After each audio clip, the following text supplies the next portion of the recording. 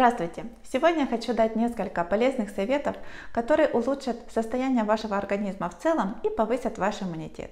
Начнем мы, конечно же, с воды. Пить воду очень важно и нужно для вашего здоровья. Пить ее необходимо в количестве 30 мл на килограмм веса. Это тот объем чистой воды, который вы должны выпивать, помимо той жидкости, которую пьете в течение суток.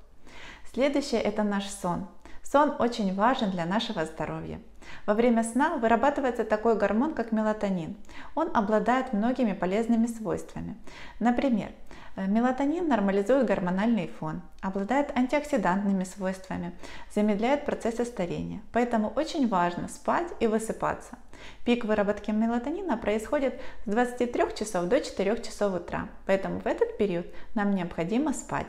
И важный нюанс, нужно спать в полной темноте, поэтому все гаджеты, телевизоры, все выключаем и ложимся отдыхать. Следующий вопрос – это питание. Мы то, что мы едим. Для того, чтобы с нашим организмом все было хорошо, необходимо правильно питаться. Поэтому по возможности постарайтесь исключить фастфуды, острое, жирное, жареное, сладкие газированные напитки.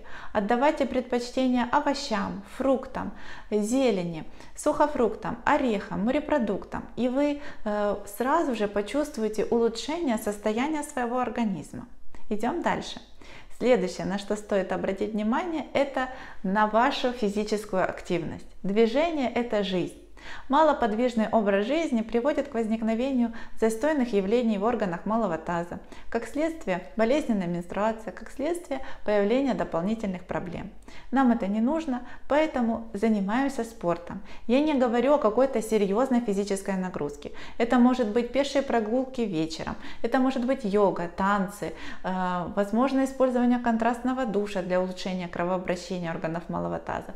Все, что вашей душе будет угодно, но только двигайтесь, не сидите на одном месте.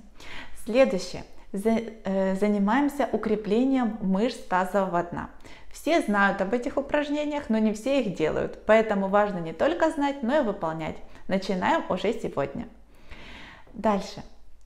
Очень важно а, обращать внимание на а, ваше здоровье до того, как возникли проблемы какие-то. Поэтому не забываем про профилактические осмотры у врачей.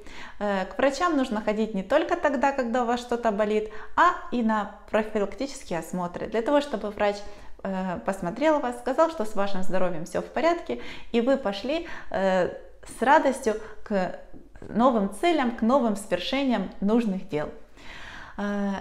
Я понимаю, что очень сложно выполнить следующий пункт. Я предлагаю вам отказаться от стрессов. Это очень сложно, но стрессы оказывают очень негативное влияние на наш организм. Поэтому постарайтесь как можно э, больше ограничить себя от негативных эмоций, от стрессов. Не зацикливайтесь на каких-то плохих событиях в вашей жизни. Идите дальше. Запоминайте только хорошие события, и ваша жизнь станет легче и лучше. Э, ведь позитивные эмоции, они нам приносят радость, они больше запоминаются. А негатив оставьте в прошлом, пусть он там и будет. А, а мы будем идти э, вперед э, с поднятой головой и смотреть только э, с позитивом на жизнь. Э, я надеюсь, что эти советы были э, вам полезны, они не такие сложные, я думаю, их выполнить просто, и это даст возможность сохранения вашего здоровья, нормализация обменных процессов, улучшение состояния вашего организма. Обращайте внимание на эти маленькие нюансы. Э, спасибо большое за ваше внимание. Я была рада с вами пообщаться. Если у вас остались вопросы, пожалуйста, пишите мне их или записывайтесь ко мне на прием. Спасибо за ваше внимание.